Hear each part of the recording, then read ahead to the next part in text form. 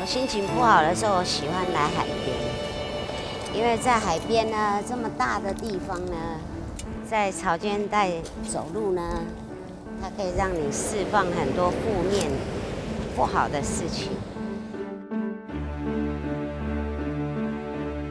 山啊、水的这些流动啊，就是你看它是这样有波浪啊、有波纹的，但是里面其实很多很细腻的东西在在它更深层的里面。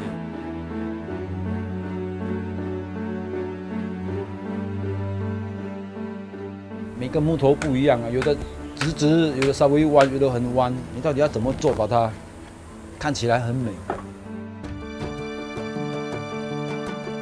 采集的时候，如果时间越长，你越能感受到那个你对大自然的尊敬啊。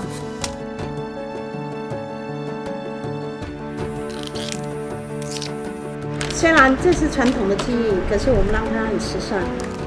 来到台东就有一个呃台东的叶桃包。我很愿意，只要有机会，有人需要我的时候呢，义不容辞。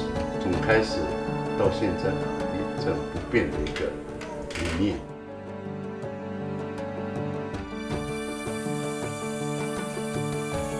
织布机敲出来的那种声音，现在回想起来会觉得那个声音很好听，对。然后，也许是我追求织布的一个主要的原因是喜欢那种声音。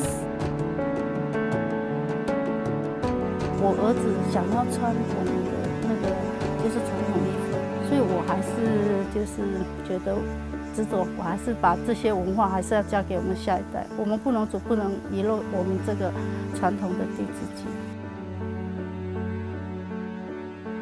这个物件在还有祭典的时候穿在身上，它可以活出那个自己族群的那个精神和灵魂。人要呼吸，那在鱼啊、珊瑚或者树都需要呼吸，所以我用呼吸这个主题来做地面马赛克的铺设。